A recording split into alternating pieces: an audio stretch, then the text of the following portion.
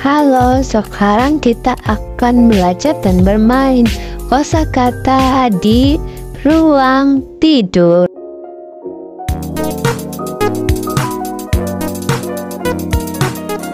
Bed, bed.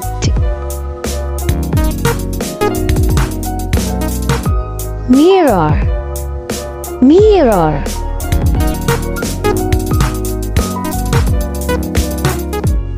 Night lamp, night lamp.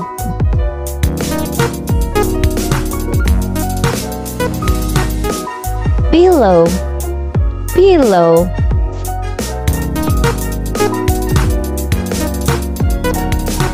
Doll, doll.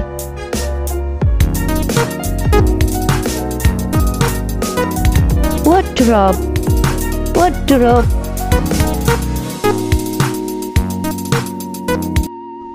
Fun, fun.